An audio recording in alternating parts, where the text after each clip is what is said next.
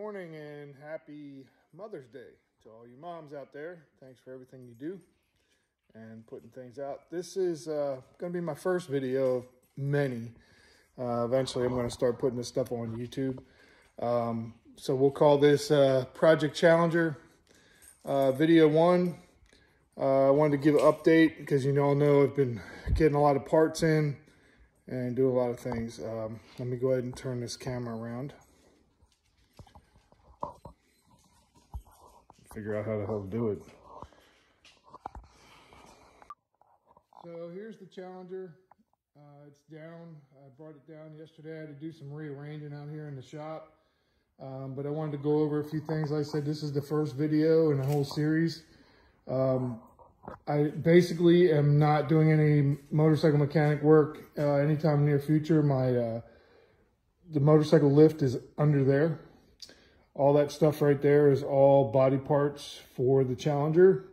And up top here is also, I've been collecting parts. I uh, purchased this car. Let me give you a little backdrop. This is a 73 Rally Challenger, 340, four speed car that a friend of mine owned. I knew back in high school. Um, the car has not seen the road in 30 years. It has not been on the road since 1991.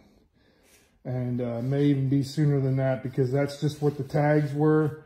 Uh, the tags were 1991, so probably more likely it's 1990 at the last time this thing's seen road.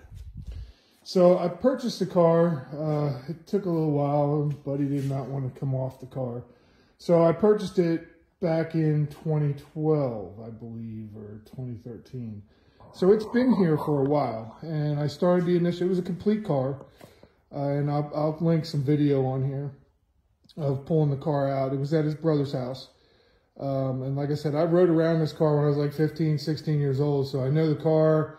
Um, it has a little sentimental value. It's uh, It was a lot of fun back in the day. It was a nice car. Uh, the original 340 is long gone.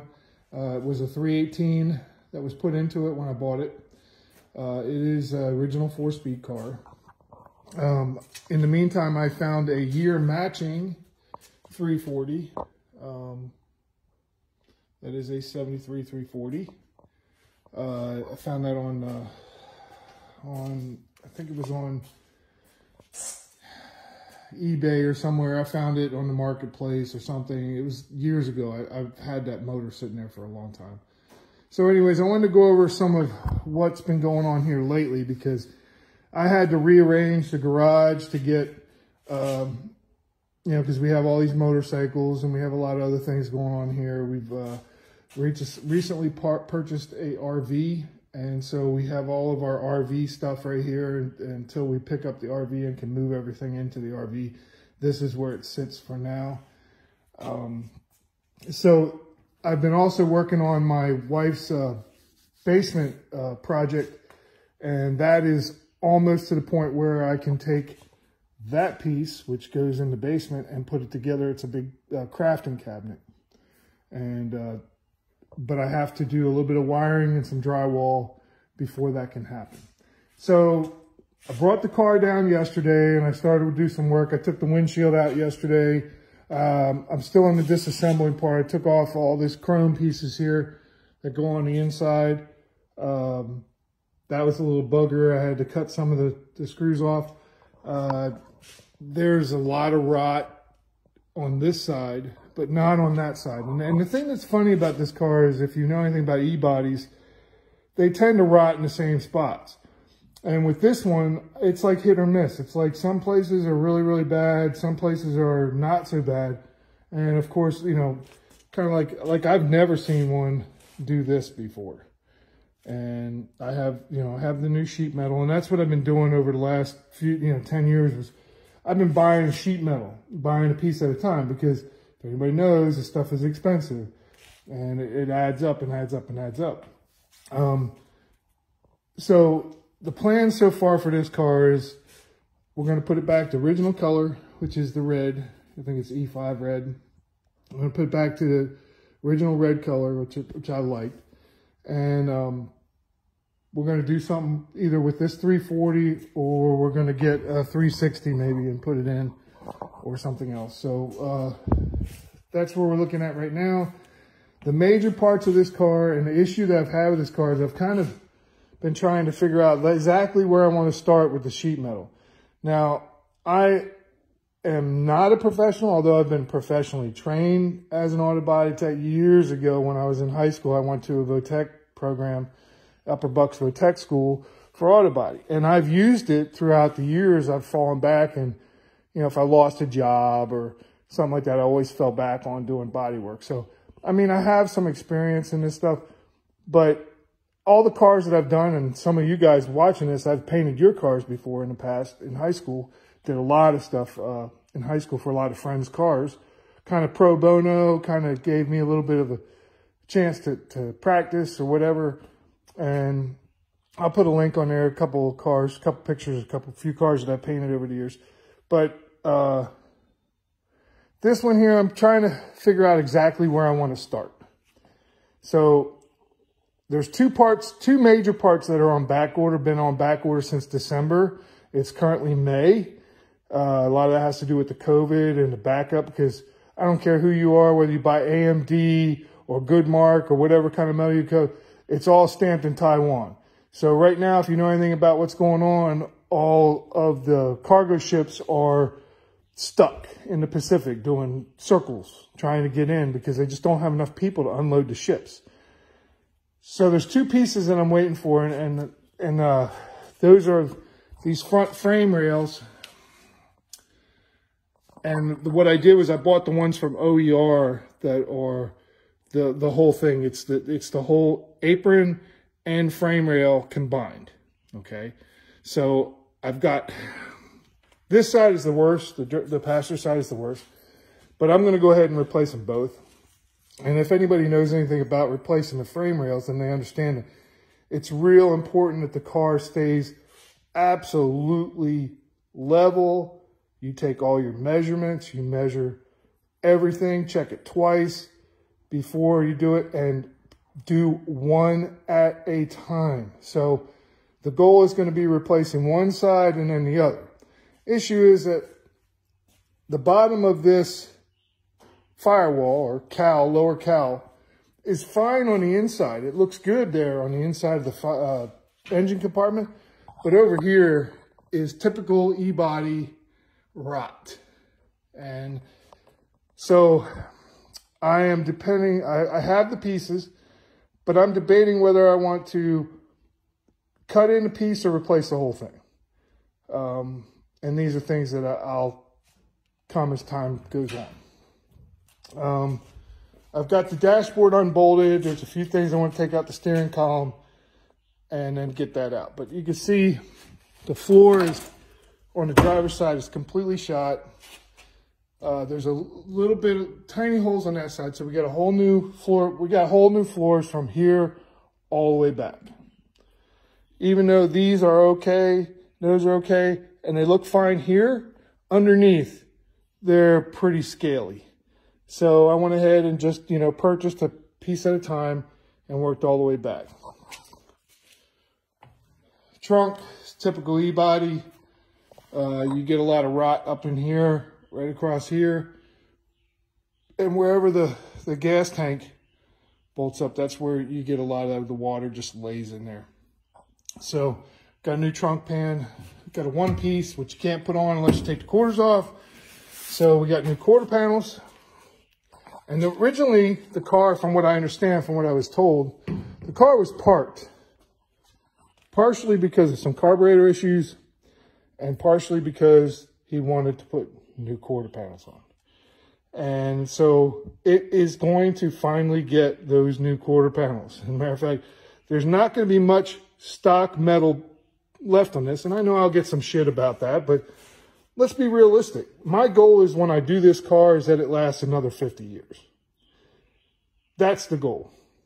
So that somebody else can enjoy it after I'm dead and gone. So I want this car to be around. Uh, that's the goal. Uh, the back frame rails are fine from about here forward. So we're not going to replace those. I found uh, Miller Industries has a section. It's like a 26 inch section on each side. So we're going to go ahead and replace those. So the next goal here is, is still part of the disassemble. Finish taking out the headliner, seat belts on the passenger side because I got the stuff out on the driver's side. Dashboard, steering column. Just get this stuff all cleaned out back in here so I can start thinking about what's going going on. Um, it's got some rot on this side, but like I said, the other side doesn't look as bad as this side. So it's kind of hit or miss on here. This is a Pennsylvania car. So, you know, people say, oh, I got a Southern car. Yeah, well, it's a Southern Pennsylvania car. How's that? And so it saw a lot of snow, a lot of rust, uh, rust belt state, a lot of salt, that kind of shit. And as long as I own it, it won't ever see that stuff. So we're going to go ahead and start replacing it. Now, like I said, the point is like, where do you start? Well, it's a unibody car, so you want to make sure that, one, you get it lifted. So people say, well, why don't you put it on a rotisserie? Can't. The, for one, the rear frame rails aren't strong enough to put it on a rotisserie, and the front rails need to be replaced. So before I even think about putting on a rotisserie, I need to replace those frame rails and make that sturdy. Then I'm going to want to go ahead and do the floors because you don't want to raise it up in the air until you get the floors done. So by the time you're done, I think uh, any chance that I get this thing on a rotisserie won't be until I've got probably 50% of the sheetwork metal done. Once that's done, then I could think about putting it on a rotisserie, and then I got to depend. Well, do I really want to spend the money on a, uh, you know fifteen hundred dollars for a rotisserie just to sand the bottom, or do I want to try to just get the car high enough in the air that I could get underneath it? Well, I'm not a spring chicken. I'm 54 years old, got some health issues, and crawling around the floor is a problem. So you know, I I worked on my truck the other day. And, it must have took me, you know, a job that normally took three hours took me six climbing in and out from underneath the damn truck. So it is an issue, but um, we're going to go, we're going to push forward and see what we can do. But you can see, you know, some, some of this is not as bad as the other side.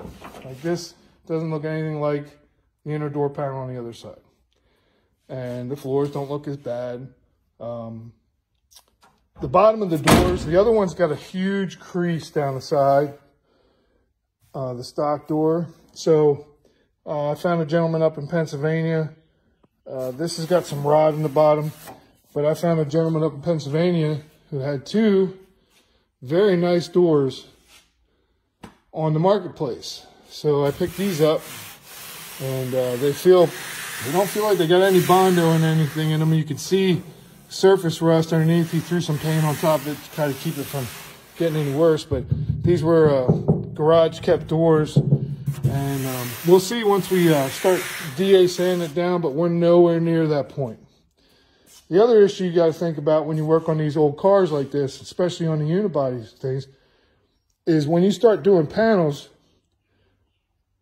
although you, you might be doing a quarter panel, you got to have your door on, you got to have your trunk lid on, you got to have valance on the back so you can make sure everything lines up. All your body lines, everything lines up perfectly before you start welding. So there's a lot of putting panels on, taking panels off, putting panels on, taking panels off. And it, it's time consuming. But, you know, people are like, well, dude, you got all these parts. Why don't you get busy? Throw some, you know. And it doesn't work that way. It takes time. You have to have patience with this stuff. Um, but if you're steady on it, like my recommendation is, people get overwhelmed and they, they leave the car go. Panel at a time do a section at a time and complete it to primer, then move on to the next section. That is my recommendation as long as I've been doing this stuff. So here's where we are, Project Challenger. This is uh, Mother's Day 2021. So stay tuned for more action later. Thank you.